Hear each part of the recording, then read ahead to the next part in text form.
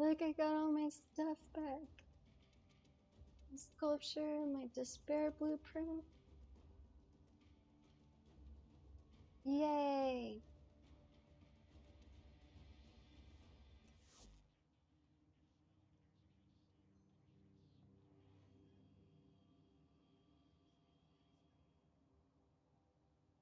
Okay, now I have to go and reset everything and make sure